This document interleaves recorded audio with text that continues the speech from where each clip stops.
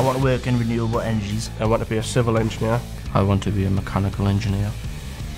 I chose to come to East Durham because It's the best engineering course that I could be going on. I knew I had the facilities to future my learning and expand what I already know. Studying at East Durham College, especially within engineering, what makes it unique is the staff. Is uh, very hands-on.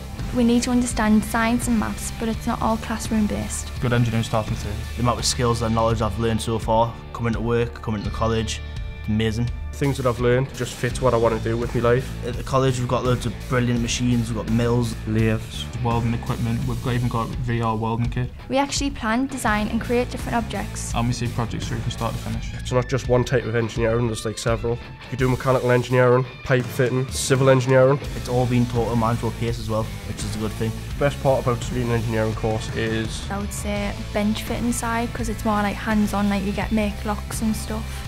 Doing the welding, just getting a lot better in it. The best part about studying engineering course is you've got many different things you can learn in life. You can go from one workplace to another, knowing every single, single thing to do. At East Durham College, we start from level two, which is a lot of hands-on engineering. Then we'll move into two pathways for level three. The first pathway for level three is a craft. That's about 30% practical and 70% theory. Then you have the technician's route. Now that gives you the pathway for an apprenticeship, but also for university. Uh, this course has really prepared me for the world of work. since starting, I've worked out exactly what route I need to go on to to get to way I want to be. I really feel like I am ready to go to university. The tutors here are really good, they help you if you got the stuff. It's a great place to come. I want to be a chemical engineer. I want to be a MIG welder. I want to be a CAD engineer.